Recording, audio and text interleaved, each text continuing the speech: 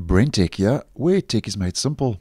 Mozilla have started to roll out yet another update for the Firefox web browser.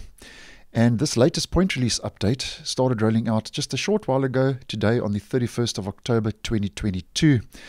Now, the version is bumped up to 106.0.3, and this is the third point release for version 106. And version 106, as I did post on, rolled out about give or take two weeks or so ago. Now, um, since this is the third point release um, for version 106, it's clear that there's been a couple of issues since the uh, release of that upgrade, um, give or take two weeks ago. So clearly, Mozilla trying to resolve some issues in the browser.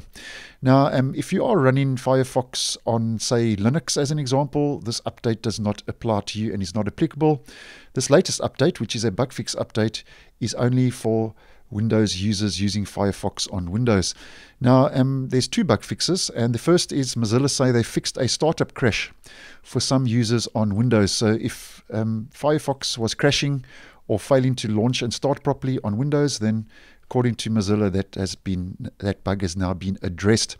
And then the second bug fix is um, they fixed an incompatibility with the new Windows 11 22H2 suggested actions feature. Now, in case you're unaware, just to do a quick recap, uh, suggested actions rolled out recently for Windows 11 version 22H2, which is a feature that displays hover actions when you copy a date, time, or phone number in the operating system and is only available in certain regions worldwide currently. And um, my region is not one of those regions where it is available, so I unfortunately cannot demonstrate. But nonetheless, um, if you are in a region where you are using Firefox and suggested actions, then apparently the issue was um, resulting in the browser hanging and or freezing when copying text and using those suggested actions um, on a web page according to Mozilla. Now, according to the bug report, um, Mozilla say the browser was freezing for a period of time, over 20 seconds in some cases, during which time the entire window um, was unresponsive to user input. And video and animation appears to continue playing, and after a while, the browser becomes responsive again. So that's according to the bug report.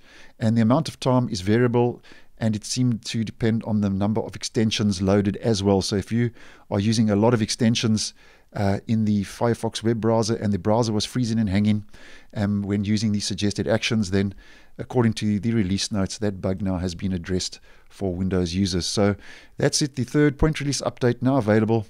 Um, as mentioned, just go to help about Firefox and that will force the update if it hasn't updated your browser already.